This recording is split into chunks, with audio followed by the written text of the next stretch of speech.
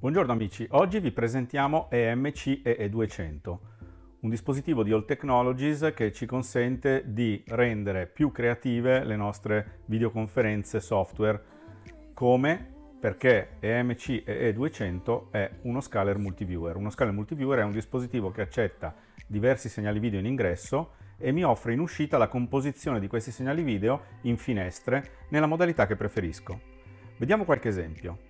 Per questa dimostrazione abbiamo connesso a EMC E200 quattro dispositivi video in HDMI, due computer portatili che stanno visualizzando reciprocamente due eh, contenuti diversi, un Click and Show K40 che è il famoso dispositivo di condivisione wireless di Kinderman che ci permette a sua volta di condividere ulteriori apparecchiature in wireless e una telecamera in HDMI. Vediamo ora alcuni esempi di visualizzazione andando a richiamare delle preimpostazioni che sono quelle di fabbrica. Questa è la numero 1 che mi fa vedere una uh, visualizzazione a schermo intero. Vediamo due ingressi affiancati.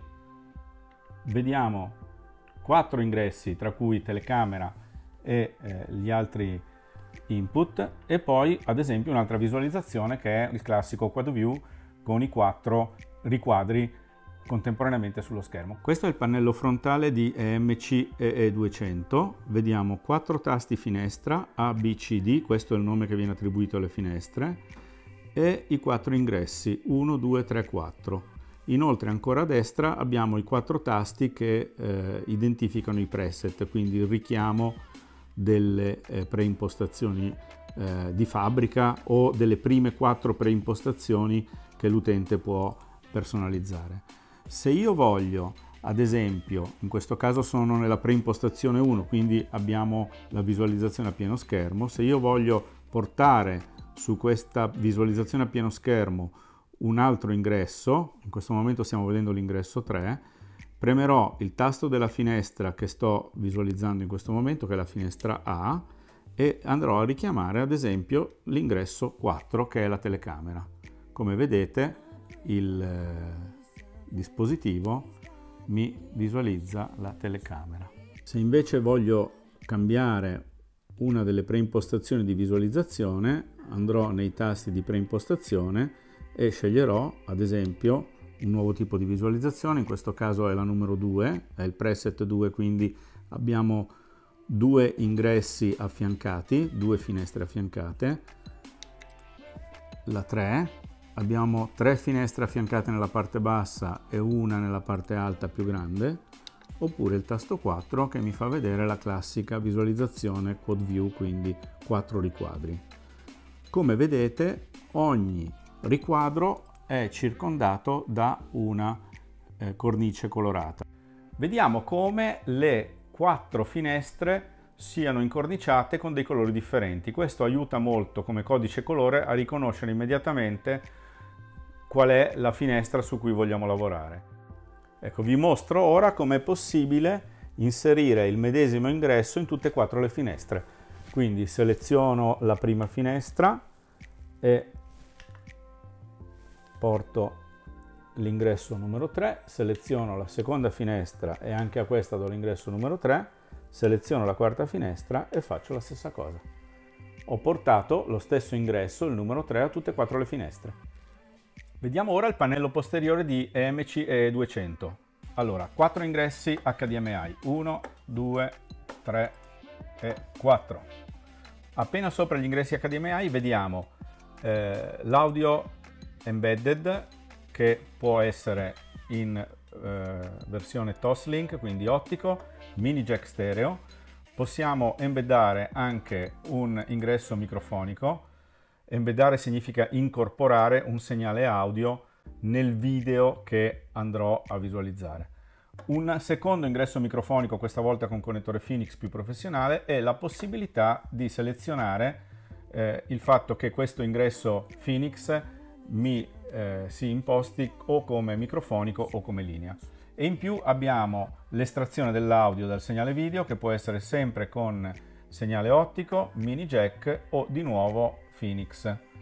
Abbiamo l'estensione del segnale infrarosso tramite questo connettore, due slot di espansione. Gli slot di espansione possono essere utilizzati per, ad esempio, connettere una scheda eh, amplificatore audio più potente oppure nel secondo slot inserire una scheda che mi permette di estendere i segnali dello scaler in HD Base T 3.0.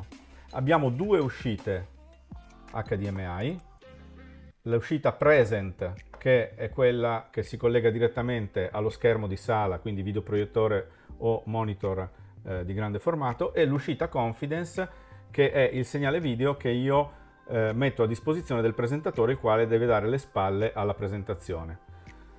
Abbiamo un attacco seriale per controllare lo scaler da un sistema di controllo, ma la cosa più bella in assoluto, la cosa speciale di questo scaler è il collegamento USB 3.0, che se collegato a un computer che va in videoconferenza con Teams, Zoom, Webex, piuttosto che Google Meet, vede questo scaler, questo multiviewer come se fosse una webcam. E quindi posso realizzare una mini regia del mio webinar, della mia sessione di lavoro, della mia presentazione con tutti quegli effetti di eh, multifinestra che abbiamo visto poco fa. Infine collegamento alla rete per il controllo dello scaler attraverso la sua pagina web interna o un sistema di controllo esterno e l'alimentazione con connettore a vite per una maggiore sicurezza. Vediamo ora come è impostato il pannello frontale. Abbiamo i quattro tasti delle finestre A, B, C e D i quattro tasti degli ingressi, 1, 2, 3, 4, e i quattro tasti dei primi quattro preset, le prime quattro preimpostazioni. In realtà lo scaler ha la possibilità di memorizzare molte più preimpostazioni, vedremo dopo come. Abbiamo una regolazione master del volume, abbiamo la possibilità di selezionare e deselezionare i due microfoni, abbiamo una regolazione master del volume del microfono e poi abbiamo un tasto con quattro frecce e pulsante centrale di conferma per navigare nel menu su schermo. Inoltre immediatamente il tasto present per attivare o disattivare l'immagine sullo schermo principale e molto molto interessante, forse ancora di più della possibilità di collegarlo in videoconferenza, il tasto REC che mi permette di registrare tutto quello che avviene attraverso lo scaler su una memoria collegata a questo ingresso USB 2.0. Quindi io qui posso collegare una chiavetta o posso collegare ad esempio un hard disk esterno con collegamento USB 2.0. Questa è la pagina web di controllo del multiviewer All Technologies EMC EE200. Vi si accede tramite un browser digitando nella balla degli indirizzi l'indirizzo IP della rete locale attribuito al multiviewer. Per entrare nel setup di controllo usiamo le credenziali di default che sono utente admin e password admin, sempre tutto in minuscolo. Clicchiamo su login e vediamo immediatamente eh, caricare tutte le impostazioni che sono quelle di default.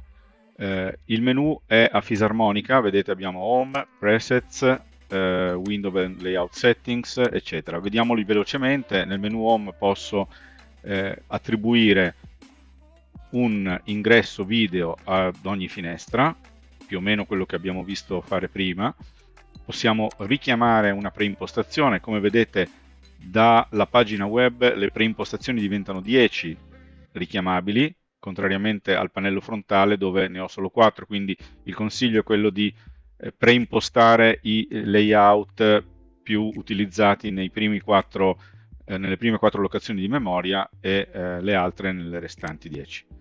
Possiamo abilitare la registrazione sulla chiavetta USB, decidere che, quale deve essere l'audio principale, quindi eh, deve seguire l'audio di una delle quattro finestre oppure eh, utilizzare l'ingresso stereo analogico o quello eh, ottico digitale oppure in mute oppure un'estrazione audio di uno dei quattro ingressi HDMI.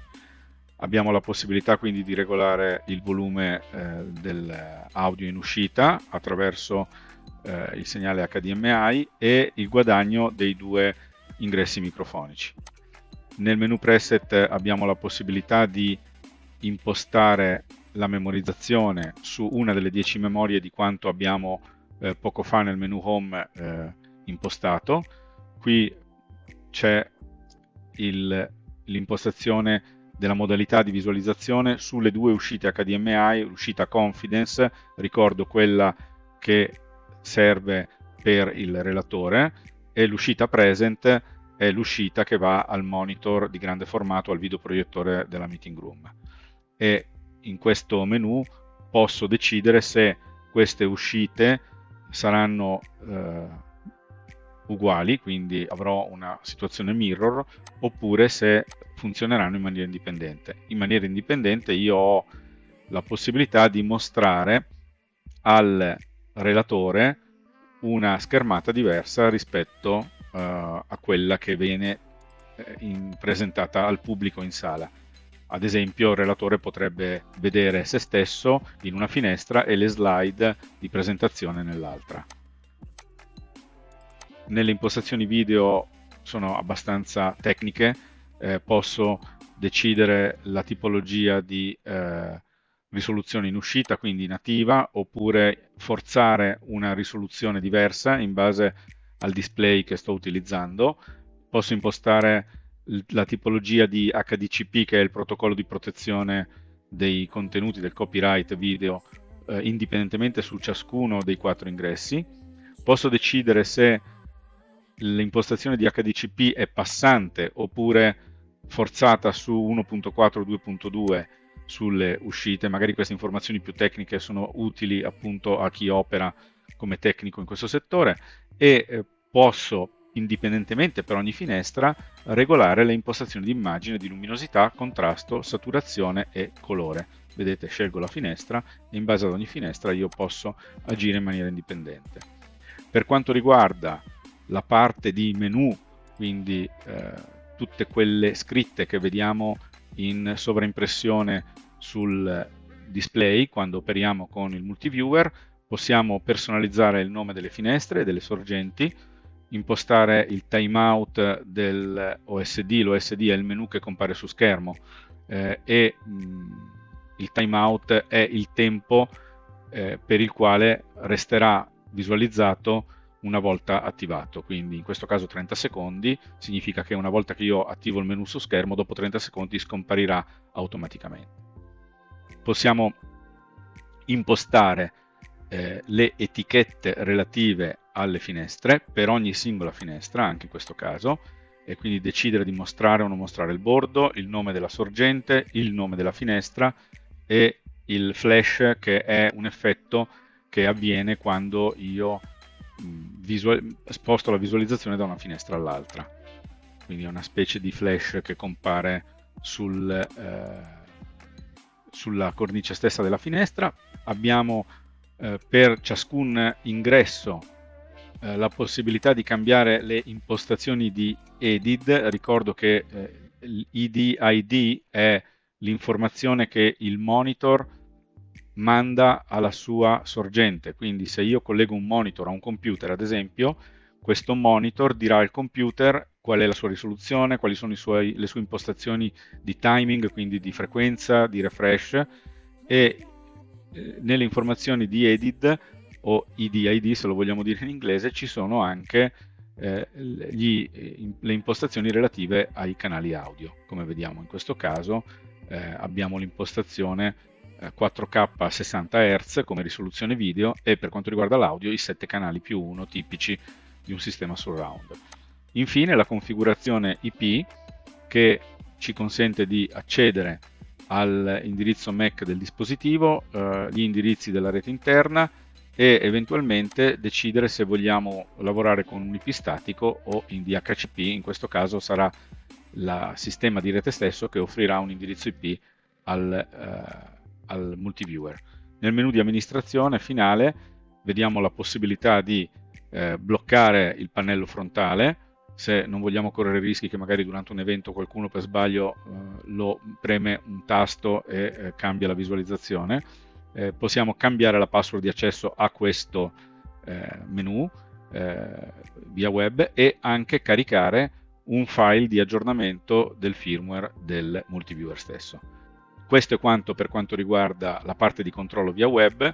Grazie ancora per averci seguito e un arrivederci al prossimo video. Ciao da G Multivision.